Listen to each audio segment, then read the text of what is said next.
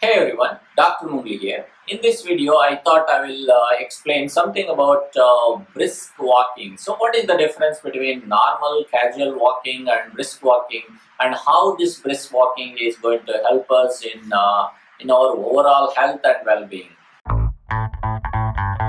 So the normal casual walking, so where we don't really concentrate on the coordination of the movement and the rhythm that is there in our movement. So we don't really you know uh, basically focus on that. So what is brisk walking? So the brisk walking, it simply says that our uh, steps per, per minute, it will be 100 steps per minute. So uh, approximately it should be around 100 steps per minute and also it amounts to around 3.5 miles per hour. So that is what is considered as a brisk walking. So unless you take 3.5 miles per hour if the, the pace of your walking it amounts to 3.5 uh, miles per hour or if it doesn't count to 100 steps per minute so uh, basically that's not a brisk walking. So it doesn't really uh, burn that many calories for us compared to like now so if you compare this with the casual walking or a normal walking with the uh, low speed so uh, brisk walking actually uh,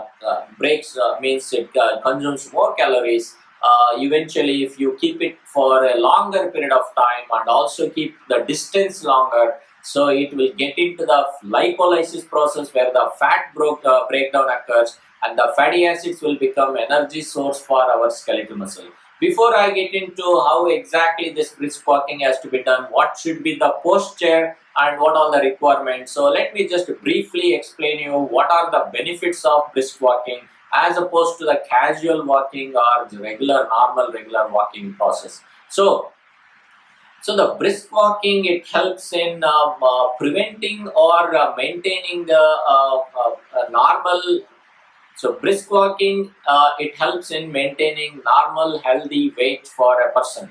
So you can maintain the healthy weight if you continuously, regularly do this uh, brisk walking, at least 30 minutes to 60 minutes per, uh, uh per day and at least uh, 5 to 7 days, uh, 5 to 6 days a week.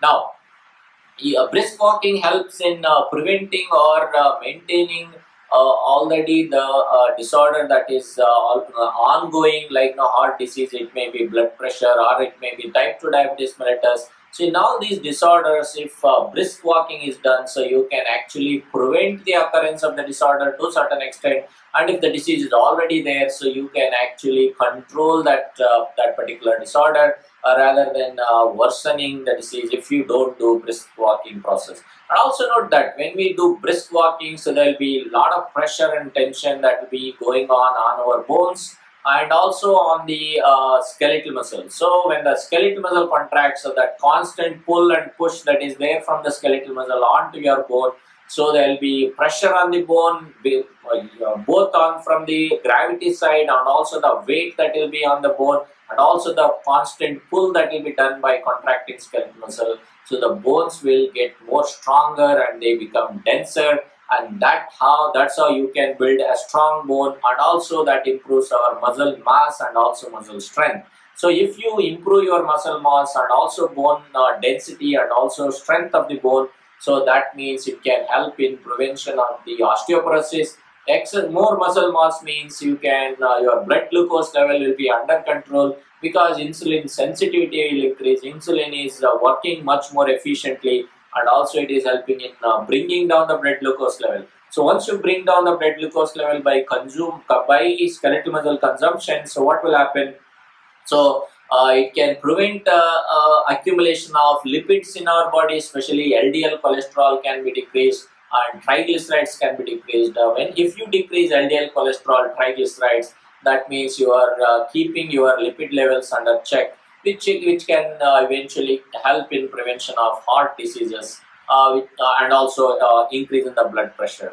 And also note that 30 to 60 minutes of brisk walking per day will help in overall mood improvement. So especially this is prescribed uh, as a way of uh, lifestyle for a person who is having depression. So if they do 30 to 60 minutes of brisk walking, so there will be significant improvement in their clinical outcome.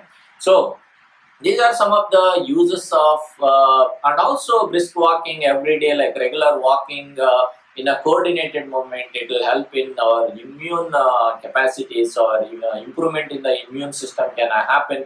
And that can prevent uh, routine like you know, colds or uh, uh, uh, like a sore throat that kind of things. Like you know, small illnesses cannot can be prevented because of the overall improvement in the immune function.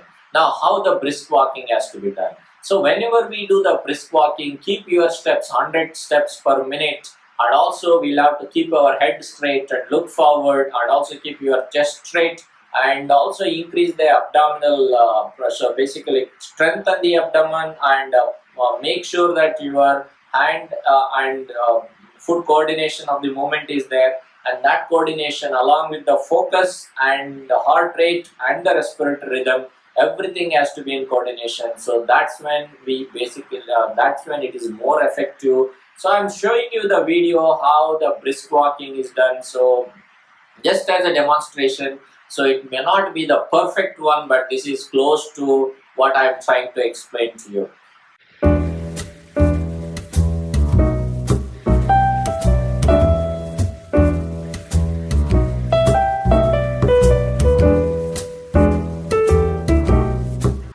So this is what is the brisk walking that I have shown and also make sure the gear is important here. So the shoe that you are wearing, so it has like it should be the walking shoe and then uh, the uh, comfortable gear has to be worn uh, depending on the uh, climate and also the path that the route that you take is also important so make sure according to your needs so you take the route so it should um, whether it is a concrete one or the road or the grass or the sand or you are uh, walking on the beach depending on what is uh, accessible to you.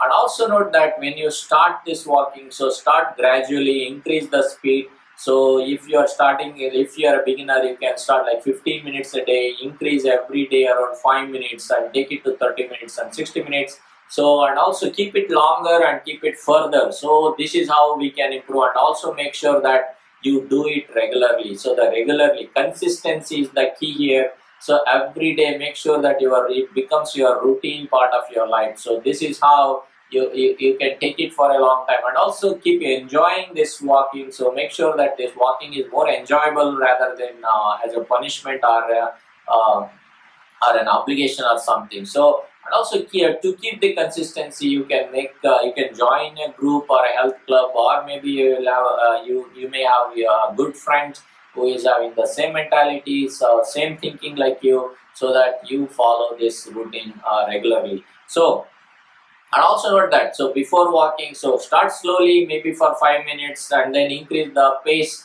and uh, stretch yourself after a cool down and then stretch yourself. So this is how basically we can keep a good walking uh, rhythm and that can help us in overall health and well-being. So this is in short about uh, what is this brisk walking and how brisk walking can help us in maintaining uh, a normal healthy weight and also preventing certain uh, disorders like heart diseases, blood pressure, type 2 diabetes mellitus and also as a overall uh, health and well-being. So brisk walking is uh, most recommended and also it, uh, it doesn't cost you much. So I hope this video has helped you in understanding uh, and also knowing a little more about uh, what is brisk walking. So keep watching and I may come up with some other videos maybe related to biochemistry or nutrition or overall health videos. So uh, to get the uh, notification, so make sure you, you subscribe to this channel and also click the bell button so that you get uh, uh, you will be notified first through through the email in your inbox. So that's all for now and uh, I will meet you in uh, some other video. So till then you take care. Thank you